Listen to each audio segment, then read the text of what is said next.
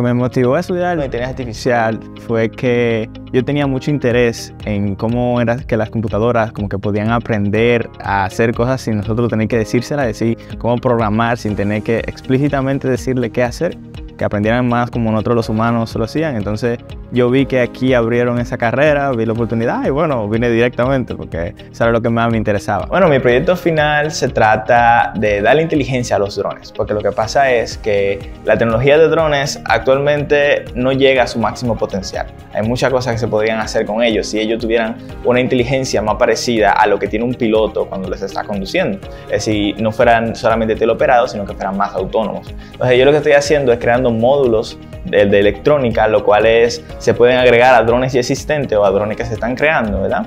Para entonces darle este tipo de inteligencia, para que puedan moverse en ambientes que no sean estructurados o puedan interactuar con objetos de manera más inteligente, más humana. Por ejemplo, mi proyecto actualmente yo lo estoy enfocando a trabajar dentro de una playa aquí en Boca Chica, que va sobrevolando la playa, entonces si encuentra basura, se, se agacha, eh, la recoge y va y luego la lleva al bote de basura. También la puede reciclar dependiendo del tipo de basura que es. Entonces también se encarga de monitorear a las personas que van, que van debajo, de, debajo de él, es que están en la playa disfrutando del sol y demás y te dice qué tipo de actividades ellos, ellos, más les gusta hacer y qué tipo de desechos se están generando y dónde lo están generando y hasta qué hora lo está haciendo. Últimamente han salido al mercado un nuevo tipo de hardware, de computadoras, ¿verdad? Las cuales le permiten a uno crear proyectos, los cuales pueden correr grandes modelos de inteligencia artificial, grandes redes neuronales en dispositivos tan pequeños como una tarjeta de crédito. En mi proyecto principalmente yo utilizo lo que es el Deep Learning, el campo de la inteligencia artificial, el cual se basa en las redes neuronales, algoritmos de redes neuronales.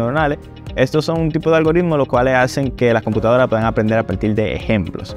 Y esto hace que las computadoras puedan aprender como a partir de texto, imágenes, video. Entonces, yo lo que estoy haciendo es utilizando técnicas de lo que se llama procesamiento del lenguaje natural y el computer vision, ¿verdad? que es la visión del computador. Ahí es cuando las computadoras pueden entonces entender el texto humano, entender imágenes, videos, entonces poder encontrar objetos de interés en ellos. A los jóvenes que les interesaría estudiar inteligencia artificial, les exhorto que vengan a estudiarlo aquí en el ITRA porque realmente es una carrera que tiene mucho futuro.